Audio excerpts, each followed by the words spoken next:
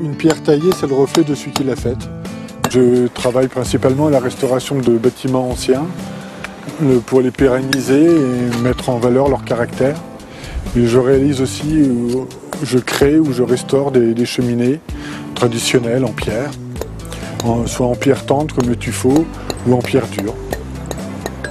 Je taille à la main, je n'utilise pas de machine, pas de moulireuse, pas de choses comme ça. Je fais des enduits traditionnels avec des étalés à la main, en utilisant des sables de Loire, des chaux naturels.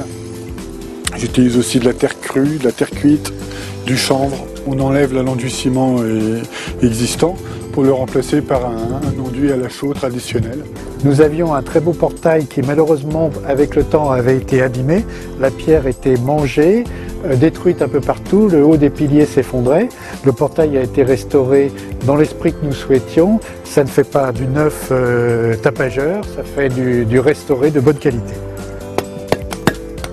Rencontrons-nous, nous discuterons de vos attentes. Je vous proposerai des solutions adaptées, esthétiques, durables, pour mettre en valeur votre patrimoine.